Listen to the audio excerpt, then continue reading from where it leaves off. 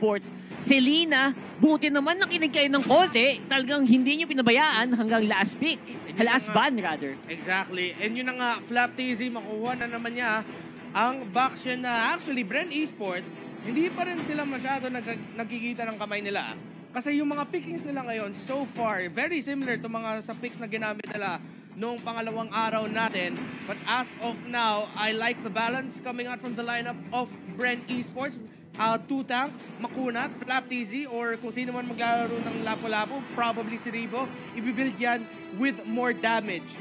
But what they need right now is a mage. And Yes. tanong na lang an, kung ano ang magiging mage pick dito para sa Bren Esports as Burmese Ghouls tank ang hinahanap nila and another maybe they're gonna go for another second option carry or another side laner maybe but with the Yuzang but Ayan na nga ba, ayan na nga ba. na nga, Lunox dito ni Kid ang pinili ng Burmese Ghouls at saka ang Hilda ni para kay Maybe Ako, sisimulan ko na. Nagsabi na ako sa inyo, guys. Bren Esports, Burmese Ghouls. Burmese Ghouls, wala kayong panghuli sa Claude. tama Nasa na ang hard crowd control na kailangan mo pag meron kang kalaban na sobrang dulas na hero tulad ng Uy! isang Claude. Wala. Kung chosa na tong Hilda na to, medyo mas okay pa to. Pero hindi talaga. I mean, they have a good... Ah, ito yung knock-up nila. Ito yung hard crowd control nila, Reptar, ah. Mhm. Yuzyong knock-up. Yun na yun. yun na yun Tapos yung gl- gliding eagle nitong si Matilda, sobrang risky na gawin. Pero Oo. pwedeng pwede nilang gawin. Ang pwede nilang gawin dito is they go for hard damage output using the Lunox. Pero tingin mo ba sapat yon para ma-take down ang isang Claude? Baka hindi nga eh. Diba? Baka hindi nga kasi nakita natin one of the earlier problems. Tinanong natin si Mitay sa gabi. Um, what was one of the problems of Carl TZ is that parang masyado siyang ano, masyado siyang nag-aasim minsan. Nung Siya ano pa, nag-aasim? Nung last year pa. Nung Oo. medyo hindi pa kilala natin yung God TZ. Hindi pa siya si God TZ. Pero ngayon, parang naayos na ni Carl TZ yung tendency na yun eh. Na mas nababalanse na niya kung kailan siya papasok, Oo. kung kailan siya mag-ultimate. Yung gusto ko with Carl TZ na pinakita niya against Alter Ego is that hindi siya takot gamitin ang blazing duet niya pag siya ang Smash nagko-clawed. At ito na nga, Mga kaibigan! game, Game one! number one! Freddy Sports, Burmese Schools. Burmese Ghouls. Grabe. Woo! Here we go. Early on, you can really tell it's going to be hot here sa gitna. Sila Ace, sila Kid, sila Ace. Yan, nag-aabang sa gilid. Si Maybe. Pwedeng pwede lumaban siguro, pero not really. Carl TZ ngayon ang nagiging target nila. Again, good luck. Ma-takedown. Itong nagraragasang Claude na to mamaya. So, I think yun ang kailangan ding alagaan ng Burmese Schools dito sa mid lane. Uh, more of a 1-3-1 rotation ang ginagawa dito ng Burmese Schools. Yung maganda sa lineup nila is that mataas yung damage nila from early to mid. Actually, yung lineup nila pangtawid talaga para kay Ace. Kung umabot to sa late game, that is the time na Burmese Schools will be really happy. Pero ito na nga si Flap Easy, Op! that's gonna be a stun on to Kid at saka si Maybe. Low na silang dalawa. Jeet Kundo knock up dun sa dalawa. Maybe and Kid makakataka sila. And that is gonna be the first small exchange in this game here. Pero wala pang napitas. Wala pa silang ginagawa para papagalin ang galawan ni Carl TZ. Hindi, hindi ganun yung picks nila. Si Maybe, nagiging bodyguard duty, nagiging walking vision lang sa ngayon. Oo. Wala silang nilalaban sa sayang yung passive nitong Hilda na to. Yung sticker na yung kay Lasty, parang hindi ko kilala yung mukha na yun ah. Sino ba si Lemon? Ni Lemon yata yun eh. Lemon ba yun? Oo, si Lemon yan. si Lemon nga. yung mga ni Lemon pinapakita. Oo. Pero dito si Flap TZ nasa delikatang posisyon.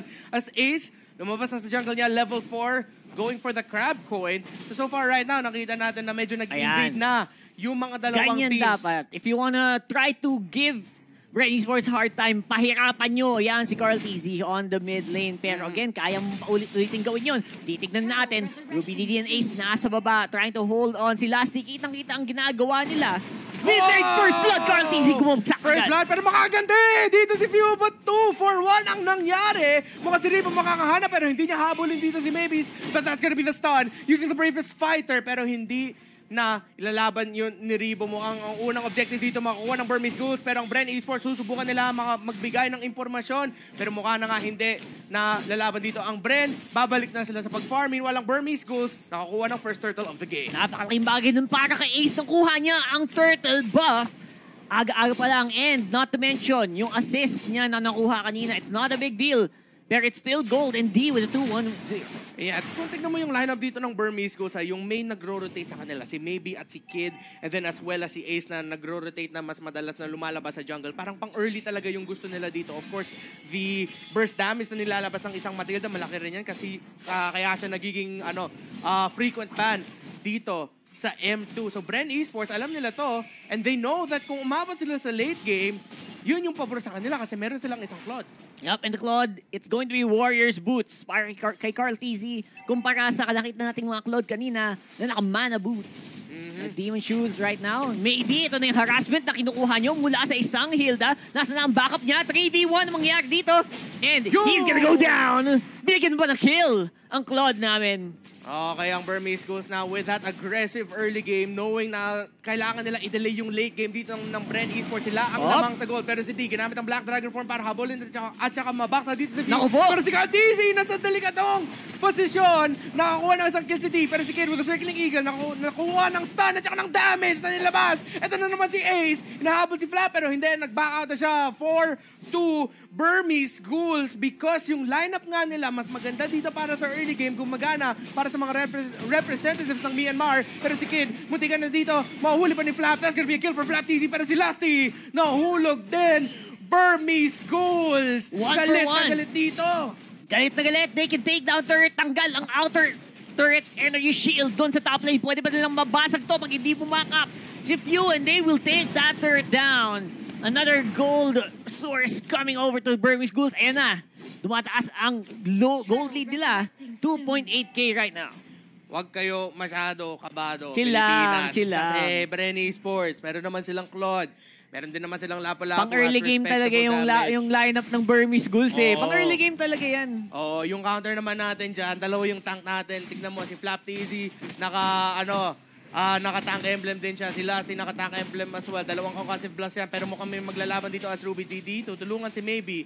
Pero hindi pa. Iko-continue dito ng Bren Esports. Again, recognizing the fact na hi- wag masyado tayo maglaban dito kasi yung late game ang inahabol natin. And gusto ko yung disiplina ng Burmese Ghouls dito ah.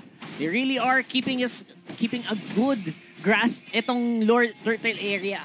Kaya ayaw nila na makapwesto agad yung Uy, Brand Esports. Baka meron daw yung objective nila. Si Ace naman, nasa likod, taabutin ni Flap TZ. Oh, diretso kay Flap. Is dito si Ace ang mababox out na dito yung carry dito. That's gonna be a way of the dragon onto Ace. Pero isa ang Si mapipita Lasty. sa Bren Esports. Si Lasty ang nawala. Bren Esports tatakbo na kagad para hindi na sila maglalaban sa Turtle. Alam na nila, natalo na sila dito for this Turtle take. Conserve muna tayo, dahan-dahan muna tayo. Pero si Few dumaan sa maling lugar. Mega kill para kay D.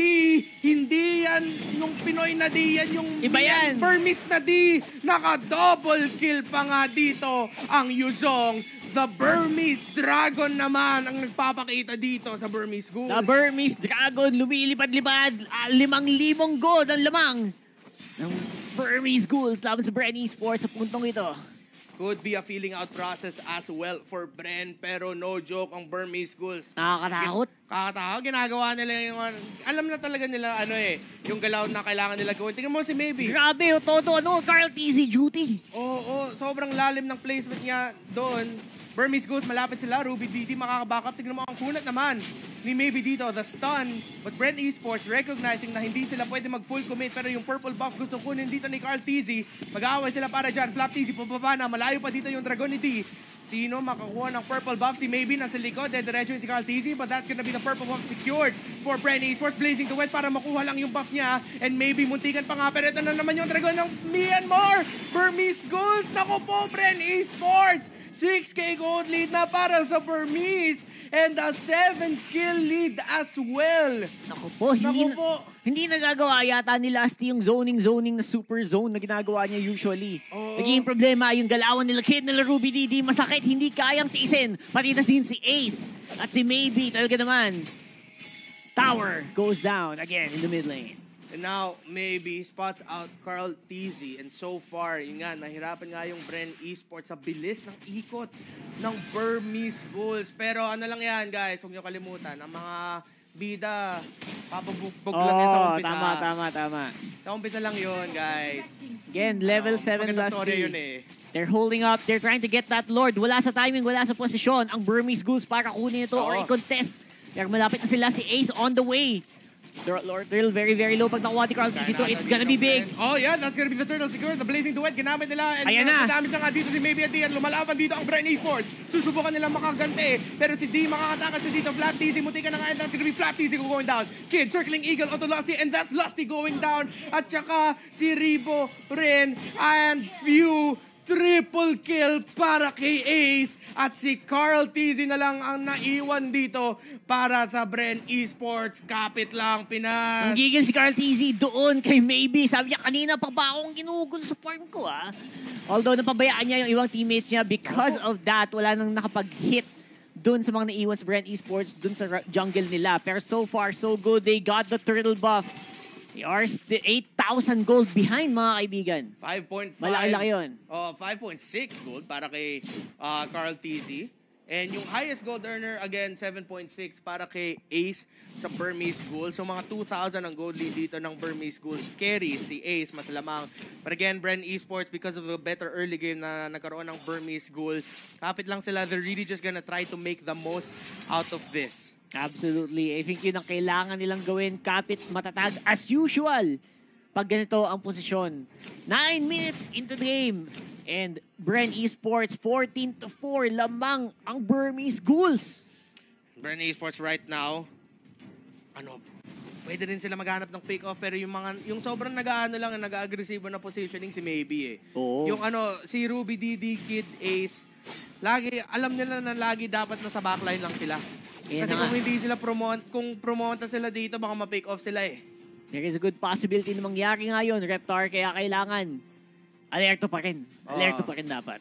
10 seconds na lang bago mag-spawn ang Lord. Ang tanong, iko-contest ba to ng Bren Esports or maghahanap ba sila ng control sa ibang parte ng mapa? Kasi wala pang nabasag dito ang kapwa nating Pilipinong Bren Esports. Sinusubukan pa nila maghanap ng momentum dito.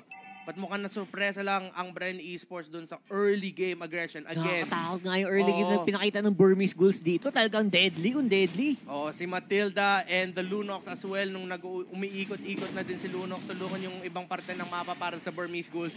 Yung magic damage dito. Tingnan mo naman si Lasty. Natutunaw dito. Mountain Shocker ginamit ni Ace para hindi makalapit masyado ang mga miyembro ng Bren Esports. Pero si Carl Dizzy with a blazing duet. Pero naka-power of order brilliance. Si Ruby DD double kill para kay Ace. Si D humintay doon sa battle mirror image ni Carl. Dizzy at ang Burmese Ghouls. Nasusurpresa ang Bren sa kanila. Alam mo nangyari dito, hindi na pala kailangan i-crowd control si ano si Carl Tizzy. Pure damage output lang, sapat na. Oo. Ang ginawa ng Burmese Ghouls dito. Pero nakita natin ang lakas ng Blazing Duet dito ni Carl Tizzy. Isang magandang Blazing Duet dun sa main carries ng Burmese Kaya eh, Ghouls. no? May bawas eh. Kayang-kaya pa. Andun na eh. Andun Kaso na. talagang medyo kulang lang tayo sa ano eh, sa po- posisyon eh. Masakit na din yung mga miyembro ng Burmese Ghouls dito. Especially yung Matilda. And of course, yung Black Dragon na lumilipad. Netong si D. Oo. Yung Burmese Ghouls, mukhang ano eh, mukhang yung adjustment nila sa rotation, parang yung target nila sa adjustment nila is si Lasty. Kasi lagi sila nandun naghihintay kay Lasty kung saan siya gusto dumaan. Oo. No? Talagang na- hinahunting nila eh. Oo. Ang nagiging ang naging problema dito, yung mga sipa din ni Lasty, nag tumatagilid din. Mm-mm. Minsan kanina, I mean, there was a nice try doon sa mid lane, pero ang nangyari, na sipa pa yung papunta sa torre nung kalaban. Mm-mm. Kaya from there, talagang mahirap nang mag-recover. Oh, so Ay, ito sobrang na, sa mid. Oh, sobrang naghanda talaga ang Burmese Ghouls para sa show dito ni Lasty. As susubukan ng Bren Defense Hanto pero the Black Dragon form para mazone out ang mga miyembro ng Bren Esports. Kin- kinumit na dito ng Burmese Ghouls Ribo nasa bottom lane dumit depensa and here comes the Mountain Shocker na ginamit ng YSS para ma-clear up yung mga minion waves at para makapush ulit sila ng Torre mukhang mauubusan na ata ng Torre ang Bren Esports. Dalawa na lang pero mau maubos yung minion wave doon sa top lane and sa bottom lane. So dalawang Torre pa dito para sa Bren kakayanin pa nila to Rockhard Sobrang late game ang kailangan nilang gawin. Kailangan lang nilang hawakan yung mga torre right now na binabasag ng Burmese Ghouls dito sa top lane. Carl Tizzy, masasabugan ng damage! Oh my Nox! God! Naku po, na double kill ni Ruby to Didi. Godlike para kay D at si Ribo na lang ang naiiwan dito. Naku po, Rockhart. What the heck? Burmese Schools. Game number one sa kanila. Oy, I don't think walang makakapag-predict na mangyayari yun. Napaka-imposible. Pero nangyari isang napakalaking panalo para sa Burmese Ghouls laban sa Bren Esports dito sa Game 1. Adjustment, adjustment lang Adjustment. yan. Kaya pa yan, Bren. Kapit. Ano ba yan? Oh, kasama niya naman si Coach Daki. Ah, adjustment lang kayo. Konting, konting ayos lang. Patubig muna. Patubig, patubig. Patubig muna, Bren Esports. Kailangan mag-usap, kailangan Oo. pag-usapan ng malupit. O, yun nga, nag-uusap na nga sila, guys. Guys, guys, ano kailangan gawin? So ito yun. Ito lang yun. Yung early game nila, it's not as dominant as we thought it would be. Kasi mahirap talaga mag-early game pag may Claude sa lineup mo eh. Mm. Yun yung nangyayari. And again, the early game of Burmese Ghouls, yun naman ang nagwala. The moment na nawala na sila sa laning phase, nung nakapag-ikot-ikot na si Ace, doon na nagsimula. Oo. Ang bilis ng pag-snowball dito ng Burmese. As in, from minute one, hindi na sila naging... Pagkatapos ng unang jungle clears, ah